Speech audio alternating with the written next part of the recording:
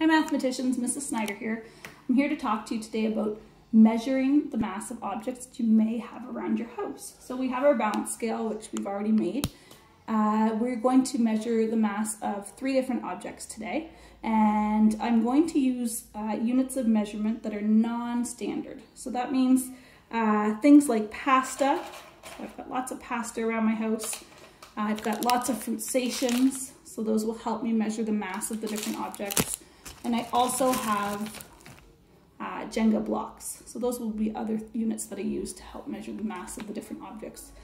Some other things you may have around your house that would be similar shape and size would be Lego or perhaps little cubes or blocks, dice. If you have a lot of dice at home, you could use that as a non-standard unit of measure. And I'm going to get started. So uh, the first thing we're going to measure the mass of this today is a beanbag. So I'm going to place that in one cup. And I'm going to measure those with packages of fruit stations, measure the mass with packages of fruit stations. And I'm going to make an estimate before I measure because it's a good thing for mathematicians to do. And my estimate for this, given the way that these fruit stations feel, would be about two packages of fruit stations to measure the mass of this beanbag. So if the bean bag is balanced with the fruit stations, I'll know that I have found the mass of the bean bag. So let's get started. So I'll place one package of fruit stations. We're not balanced yet, so I haven't found the mass of the bean bag. Two packages of fruit stations. Ooh, we seem pretty close. Let's see what happens if I put three in here. Now that looks more balanced. So I would say three packages of fruit stations is the mass of the bean bag. Now my estimate was two, so I was pretty close.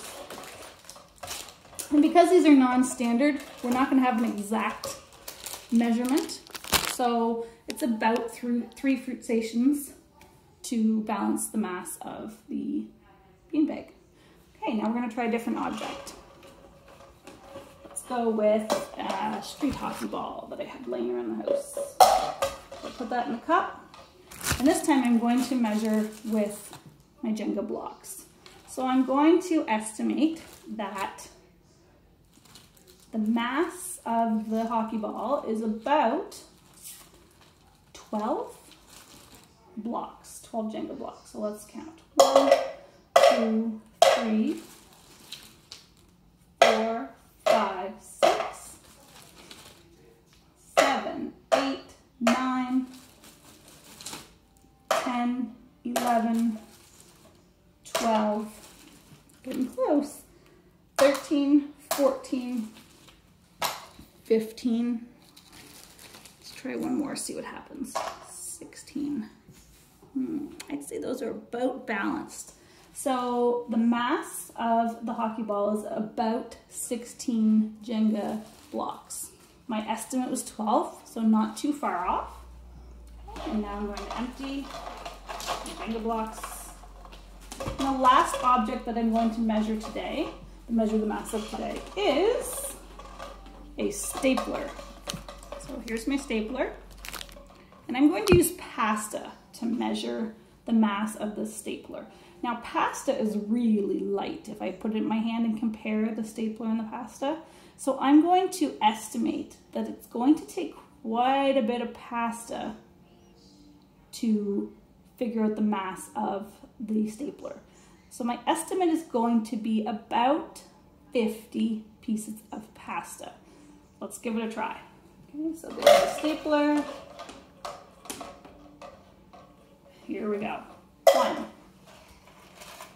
two, three, four, five, six, seven, eight, nine, ten, eleven, twelve, thirteen, fourteen, fifteen, sixteen, seventeen, eighteen, nineteen, twenty, twenty-one.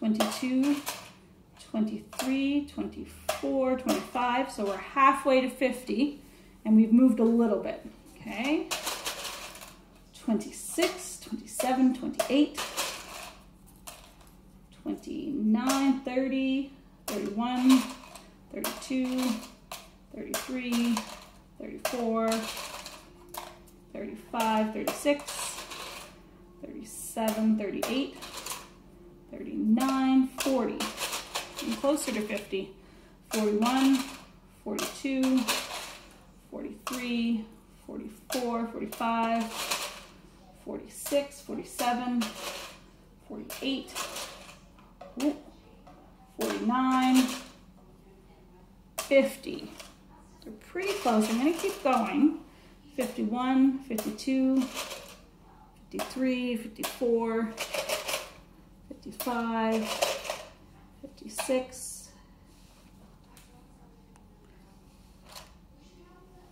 57. I think that's pretty close to balanced.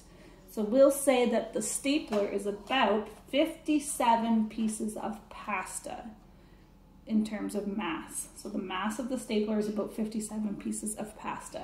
And that's how you can measure the mass of different objects in your home. Thanks for tuning in.